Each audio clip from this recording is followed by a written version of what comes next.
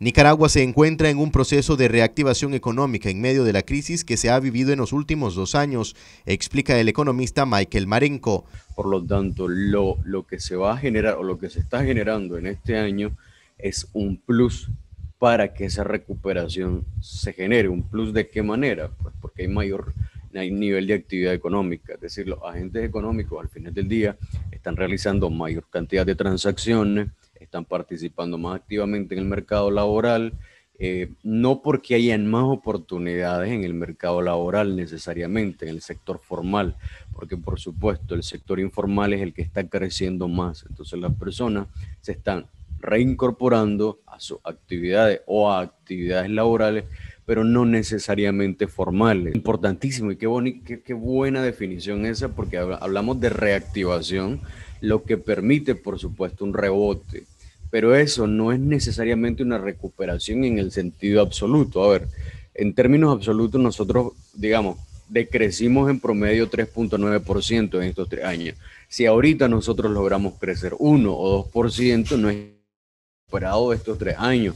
¿Por qué no? ¿Verdad? Este, lo que se está generando, por supuesto, es una reactivación para eventualmente recuperarnos plenamente, pero no es una recuperación plena en el sentido absoluto. Hay una cantidad importantísima de empleo que se destruyó y no se ha recuperado, una cantidad importante de personas que entraron en el desempleo y no se han llevado a cabo pues políticas para poder recuperar a estas personas. Expone que las remesas familiares no compensan la mano de obra calificada que sale del país producto de la situación. Sí, recordemos que cuando hablamos de fuga de talento, hablamos de, pues, del, tema preocupante de la migración. Entonces hablamos de dos cosas, de mano de obra cualificada que se va del país, pero también hablamos de mano de obra productiva, de fuerza laboral.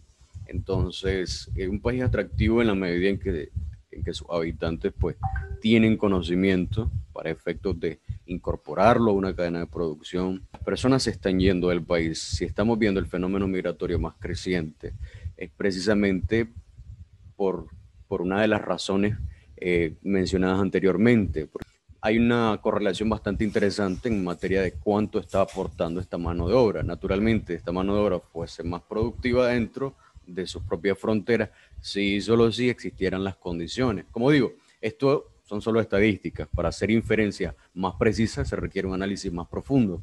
Pero lo que sí es cierto es que hay distintos estudios que apuntan que el beneficio esperado o producto de las, remesas que se perciben no necesariamente compensa la pérdida de mano de obra productiva. Sí hay algo que se percibe, que es las remesas, pero no todo no toda persona que se va fuera del país envía remesas. Muchos incluso eventualmente buscan cómo asentarse fuera del país. Entonces es un flujo de remesas que luego ya no se va a percibir. Marcos Medina, Noticias 12.